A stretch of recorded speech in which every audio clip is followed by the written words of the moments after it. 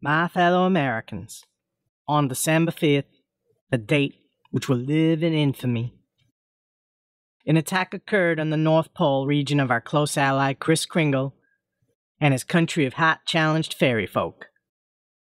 I regret to tell you that many American children's toys have been lost. Hostilities exist. There is no blinking at the fact that our people, our territory, and our interests are in grave danger. However, with confidence and unbounding determination of our people, we will gain the inevitable triumph.